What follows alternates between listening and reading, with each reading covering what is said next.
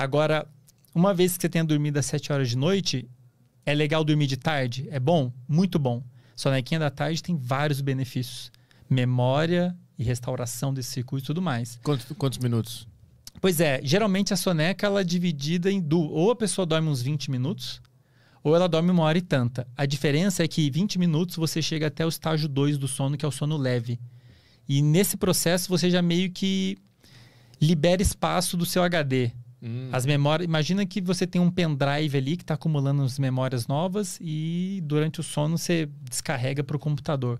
Quando você tira uma soneca, você meio que já libera espaço do seu pendrive para uhum. você colocar mais. Realmente tem trabalhos mostrando isso. Galera que dorme um soninho, depois consegue lembrar mais.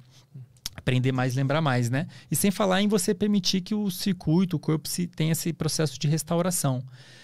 O de 20 minutos permite com que você chegue no estágio 2, que é onde você vai ter esse processo. O, aquela soneca de uma hora e tanta, você chega até o sono profundo. E aí você tem aquela lavagem que eu comentei. Do ponto de vista fisiológico, a soneca mais longa, ela é, é melhor. Você vai descansar mais, vai restaurar mais. Só que, um, ela é longa, você vai perder tempo de certa maneira.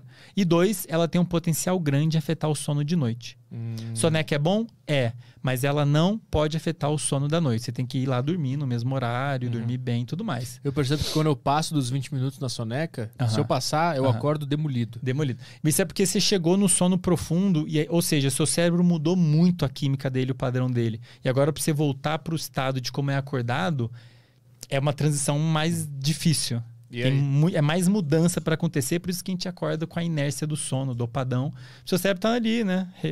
Voltando a acordar. Se você chega só no, no estágio de sono 2, 20 minutinhos, 10, 20, aí é mais fácil você voltar para o estágio do acordado, né? Uhum.